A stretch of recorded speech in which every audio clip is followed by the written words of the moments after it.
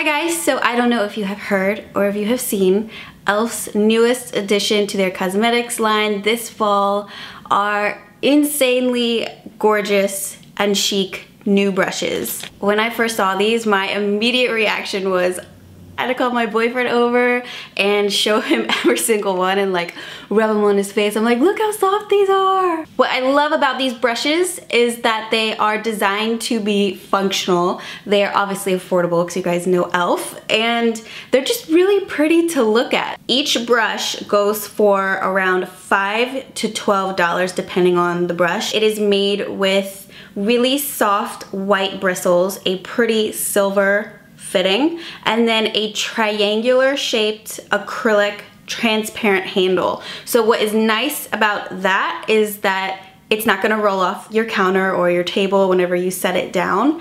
And also it just makes your grip better when you're using it to apply makeup. The one that I would 100% buy and recommend to you guys is this one right here. It is just so unique and I really love the way that it, applied my uh, bronzer as like a contour. This one was a surprise for me, the 104.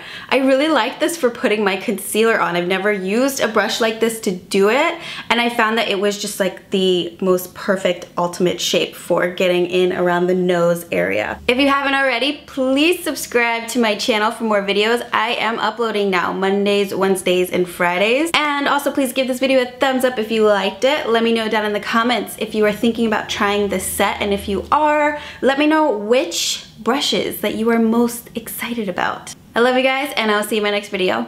Bye!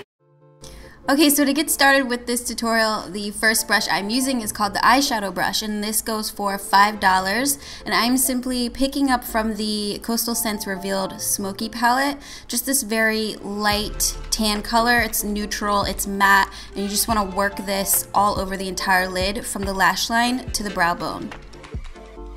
Then I'm taking the smoky smudge brush. So this is dome shaped and what that helps to do is diffuse the shadow color a bit more. So what I'm gonna do is just lay down this matte gray shade first to kind of start my winged liner look from the middle of my lash line and then going diagonally up towards the end of my brow. And then I'm going back in with my eyeshadow brush to blend things out.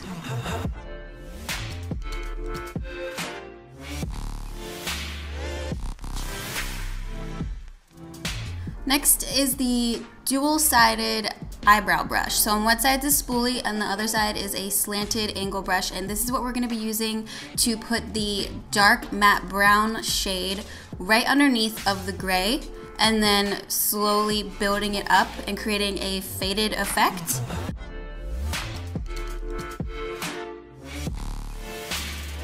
Lastly, for the eyes, I'm using the eyeliner brush, also $5.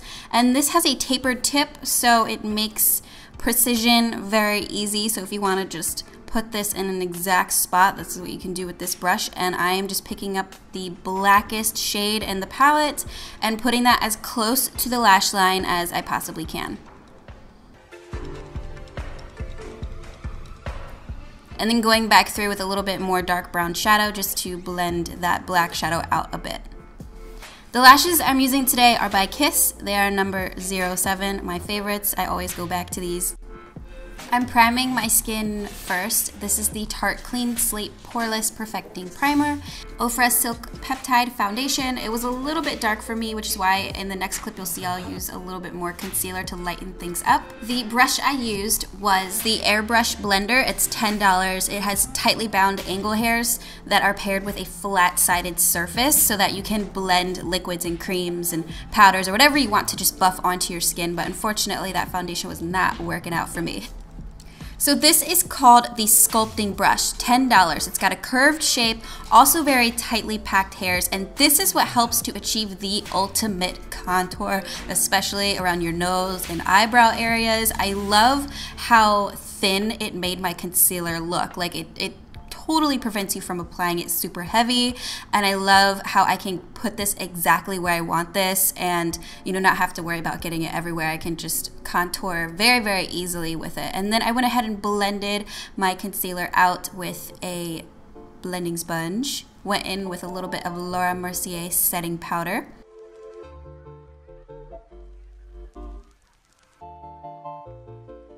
Here I'm using the spoolie on that dual-sided eyebrow brush to fix up the inner corners of my eyebrows. And now I'm going in with the multi-blender massager and my Kat Von D light and shade palette. I'm picking up that middle shade to bronze out my face. So this is a short and curved brush with very tiny little massage bulbs on it that help to blend any powder or foundation or bronzer like I'm doing here. And it just honestly does a great job of blending. That's the number one thing that I have to say about this is I was amazed at how beautiful it made my bronzer look. I contoured with it as well using the darker shade in the palette under my jawline area. So now I'm going in with the powder brush, $12. This is a very light and fluffy brush, very loosely packed hairs. This is what you want to use when you want like a super clean finish with any press or loose powders. I used my NARS blush in Outlaw. I also like the airbrush stipple for applying very loose sheer powders to the face and so that's why I went in with the uh, highlighter from Kathleen Lights Makeup Geek with that and that is $10.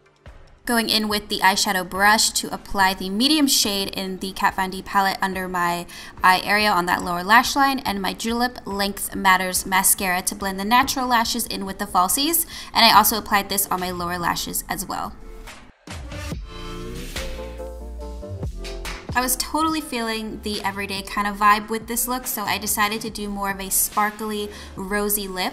I went in with Ofra Lip Liner in Spicy first all over, and then my Neutrogena Moisture Color Stick in Soft Raspberry, and I just patted that in with my finger. And that's it.